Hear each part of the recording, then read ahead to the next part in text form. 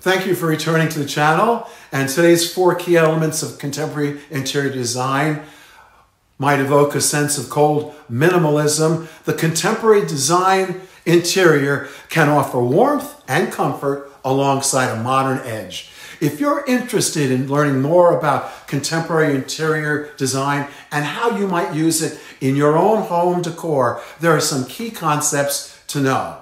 Here are the four elements of contemporary design. First, use of color. Contemporary style rooms are full of muted neutrals, black and white.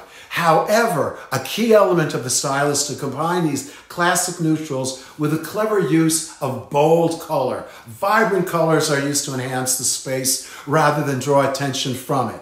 Some examples include bright area rugs, a piece of wall art, or decorative accessories. Blending materials and textures can have a huge impact on ambience, and it's a very important element to contemporary design.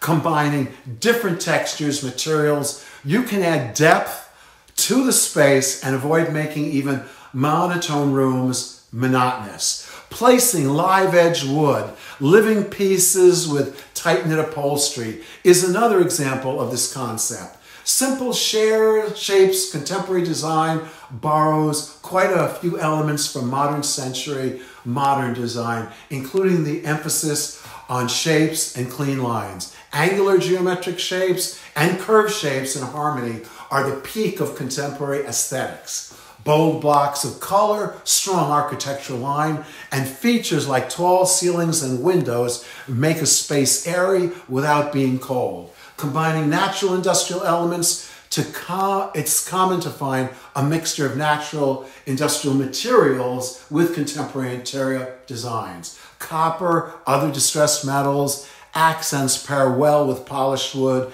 knotty hardwood floor, using industrial elements like lighting, shelving, and wall decor is another great way to begin to combine features with softer natural elements like reclaimed wood, bamboo, and woven textiles. If you enjoyed this video, please like, share, and subscribe. And if you have any specific topics you'd like me to cover, please notify me by email. Thank you for visiting. I look forward to hearing from you.